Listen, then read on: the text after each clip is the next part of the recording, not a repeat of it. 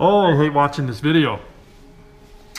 You stick around at the end of the video, you get to see that uh, crash in slow motion, and it's uh, pretty dramatic. So, if you get a chance, go ahead and, and subscribe to our channel. Click on that bell icon, and we'll send you uh, notifications of any upcoming videos and stuff like this that we have coming up in the future. And uh, at the end of the video here, we'll uh, we'll announce the winner of that X930 octocopter frame. So stick around for all that. Video today is about the uh, stalling landing gear that we talked about a couple videos back. And uh, we finally come up with a fix for that, uh, those stalling landing gear from Hobby King. It's not the landing gear's fault. The landing gear are working really well. The problem is, is that uh, we had the landing gear on one channel. And a lot of people do that. They'll put all their landing gear, all three of their electric landing gear on one channel. When you do that, it puts a really large draw on the, uh, the BEC's amperage. It wasn't enough to get our nose wheel to come down every time. We'd get the uh, mains to come down, Sometimes one would come down, sometimes both would come down. We just had intermittent problems with them. But what we found is if we take those landing gear and we split, split them up, we get to put the mains on one channel and we put the steering landing gear on the other channel, then we put it on a three position switch so that uh, there wouldn't be any problems with drawing amperage on three landing gear at the same time. You know what I mean? Even though we're on separate channels, you're still drawing the same amount of juice from the battery. So with three position switch, we bring the mains down first. And uh, as soon as they're down, we click the uh, switch one more position and uh, the, the steering landing gear comes down. And it's exactly the reverse bringing it up. It's just uh, one click up, nose wheel comes up, second click up, your main gears come up. And we, as you can see in the video right now, it's uh, flying around and the chase drone's following it and showcasing that, that landing gears is coming up and down repeatedly. And uh, it's a good feeling when you're flying around, you know your landing gear is going to work. So hopefully that'll help you guys that are having problems with your stalling landing gear. Just split those channels up and don't activate them all at the same time. It's just too much for the BEC coming off of those small ESCs. But uh, it, uh, it worked out real well until I realized that uh, I had flown too long and that my battery was dropping in voltage really quickly and I, I, I had to land immediately. And uh, fortunately I, I fly on a dry lake out in uh, Lucerne Valley, California.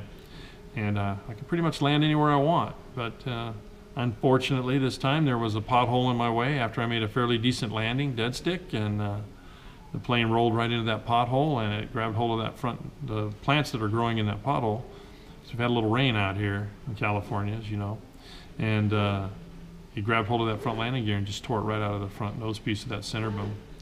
But that's not the first time that's happened to us. We uh, repaired a, a, broken landing gear with that PLA pin in one of our videos, and this time we just took it home. We decided we were going to try and replace that whole piece, and it was surprisingly easy to do.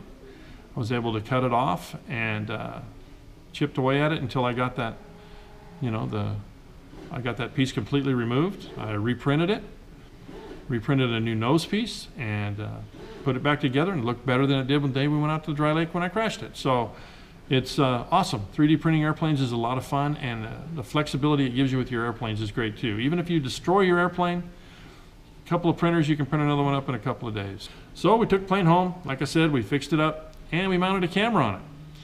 You know, we're going to be doing some plane on drone stuff. We promised you that in the last video that we put out. And uh, as a matter of fact, we actually did that. And uh, there was a winner to that. And uh, as the camera will totally attest, and you see a little uh, clip there, you probably almost determine who, which, which one of the aircraft won based on that clip. But well, it's time in the video now to give away that octocopter frame, that X930 octocopter frame. And John Gittes, you're the winner. Email us your address. We'll go ahead and send that out to you right away. Congratulations.